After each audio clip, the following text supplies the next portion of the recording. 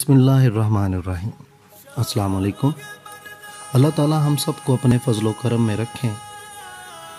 میں اس دعا کے ساتھ اپنی ویڈیو کا آغاز کرتا ہوں۔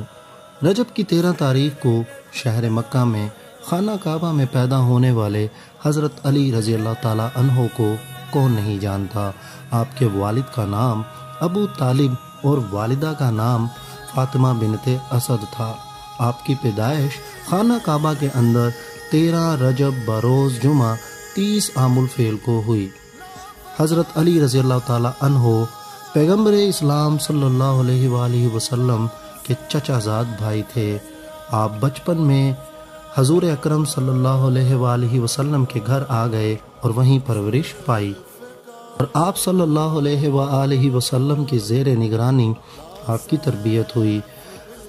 آپ وہ پہلے بچے تھے جنہوں نے اسلام قبول کیا۔ اس وقت آپ کی عمر دس یا گیارہ سال کی ہوگی۔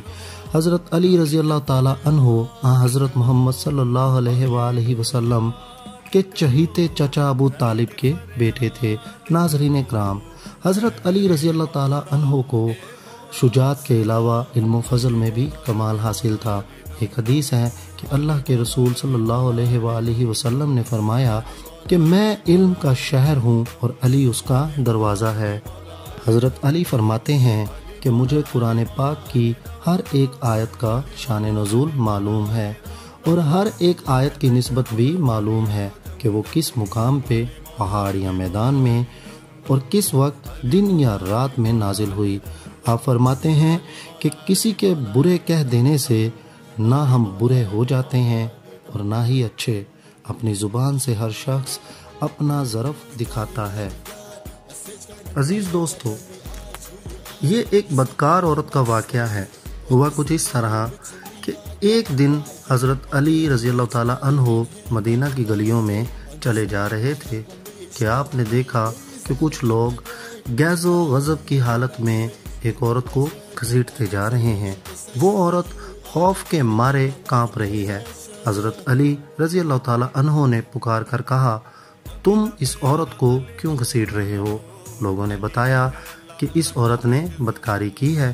اسی لیے امیر المؤمنین عمر بن خطاب رضی اللہ تعالی عنہ نے اس عورت کو سنسار کرنے کا حکم دیا ہے۔ حضرت علی نے اس عورت کو ان کے ہاتھوں سے چھینا اور ان لوگوں کی خوب سرزنش فرمائی۔ چنانچہ وہ لوگ حضرت عمر رضی اللہ تعالیٰ عنہ کے پاس گئے اور حضرت علی رضی اللہ تعالیٰ عنہ کے بارے میں بتایا۔ کہ انہوں نے ان کے ساتھ ایسا سلوک کیا ہے۔ حضرت عمر بن خطاب رضی اللہ تعالیٰ عنہ فرمانے لگے، حضرت علی رضی اللہ تعالیٰ عنہ نے ضرور کسی بات کے معلوم ہونے پر ایسا کیا ہوگا۔ جاؤ، ان کو میرے پاس بھیجو۔ حضرت علی رضی اللہ تعالیٰ عنہ غصہ کی حالت میں آئے۔ حضرت عمر رضی اللہ تعالیٰ عنہ نے ان سے پوچھا، آپ نے ان لوگوں کو کیوں واپس کر دیا اور ان کو اس بدکار عورت پر حد قائم کرنے سے کیوں منع کیا؟ حضرت علی رضی اللہ تعالیٰ عنہ نے کہا کہ اے امیر المؤمنین، کیا آپ رضی اللہ تعالیٰ عنہ نے رسول کریم صلی اللہ علیہ وآلہ وسلم کا یہ ارشاد نہیں سنا کہ آپ صلی اللہ علیہ وآلہ وسلم نے فرمایا، تین طرح کے لوگوں سے قلم اٹھا لیا گیا ہے یعنی وہ بے قصور ہیں۔ ایک سونے والا آدمی یہاں تک کہ وہ بیدار ہو جائے دوسرا نابالغ جب تک کہ وہ بالغ نہ ہو جائے اور تیسرا گناہ میں مبتلا آدمی جب تک باہوش نہ ہو جائے۔ حضرت عمر رضی اللہ تعالی عنہ نے فرمایا کہ ہاں میں نے یہ ارشاد سرور عالم صلی اللہ علیہ وآلہ وسلم سے سنا ہے۔ حضرت علی رضی اللہ تعالی عنہ نے تبسم فرمایا اور کہا کہ اے امیر المؤمنین، اس عورت کو کبھی دیوانہ پن کا دورہ پڑتا ہے۔ ہو سکتا ہے کہ وہ آدمی اس کے پاس اس حالت میں آیا ہو کہ اسے دیوانہ پن کا دورہ پڑا ہو۔ یہ سن کر حضرت عمر بن خطاب رضی اللہ تعالی عنہ نے اس عورت کو رہا کر دیا۔